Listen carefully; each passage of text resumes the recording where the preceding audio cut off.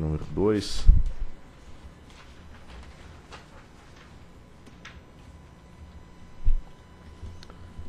Processo 48.500, 105, 2013, 87. Pedido formulado pela empresa Geração Céu Azul S.A.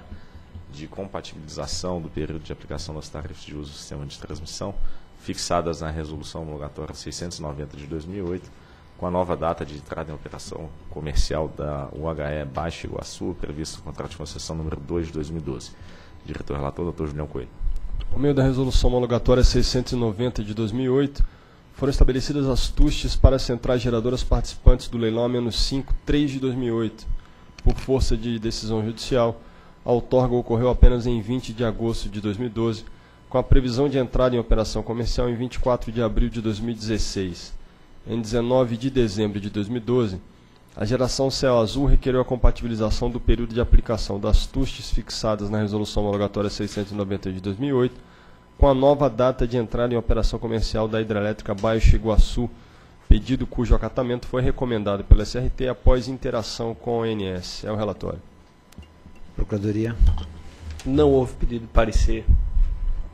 Aqui, senhores diretores, como houve o atraso na outorga, é, a entrada em operação comercial da Baixa Iguaçu foi postergada de, do ciclo 2012-2013 para o ciclo 2015-2016.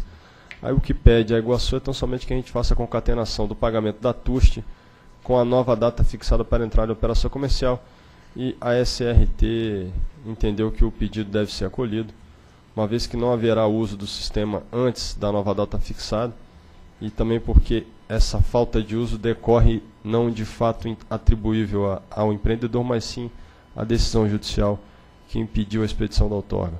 Eu voto no sentido, então, de acolher o pedido formulado pela Geração Céu Azul SA de compatibilização do período de aplicação das TUSH fixadas na Resolução Homologatória 690 de 2008 com a nova previsão de uso do sistema de transmissão pela OHE Baixo Iguaçu. Eu voto. Em discussão. Em votação. Acompanho o relator. Também voto com o relator. Também voto com o relator. Também voto com o relator de decidir por acolher o pedido formulado pela geração Céu Azul de compatibilização do período de aplicação das tarefas de uso do sistema de transmissão fixado na Resolução 690 de agosto de 2008, com a nova previsão de uso do sistema de transmissão pela UHE Baixo Iguaçu.